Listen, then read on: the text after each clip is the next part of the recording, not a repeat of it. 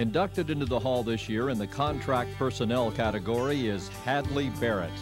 Hadley Barrett grew up in the sandhills of Nebraska near North Platte. Raised on a ranch, he learned to rope and ride.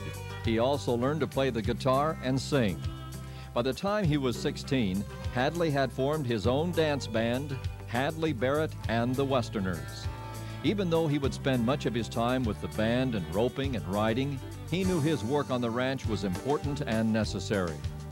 At an early age, Hadley was forming a frame of mind that would carry him through life and become one of rodeo's most respected talents. For some 15 years, young Hadley Barrett was an active rodeo contestant.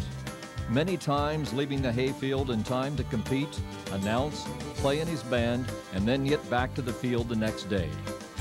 As a contestant learning the ways of rodeo, Hadley decided he wanted to be a rodeo announcer, but not just any rodeo announcer. He wanted to be a good one. Once again, hard work paid off. He was selected to announce the big one, the NFR, in 1968, and then again in 1976 and 1979. When Hadley was selected to announce the national finals for the fourth time in 1983, he found a big surprise waiting for him. At the Personnel Awards banquet that year, Hadley Barrett had been named the PRCA Announcer of the Year. And now let's go down to Hadley Barrett, who has found Cody Ohl.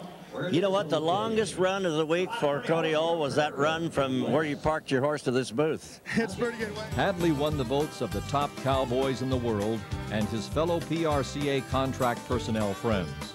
They said he just knows rodeo. He knows broncs too. Hadley knows everybody, and he's got one of those voices that's good over the mic. His golden voice and excellent knowledge of rodeo would be good enough to be selected and named PRCA Announcer of the Year again in 1985 and 1989.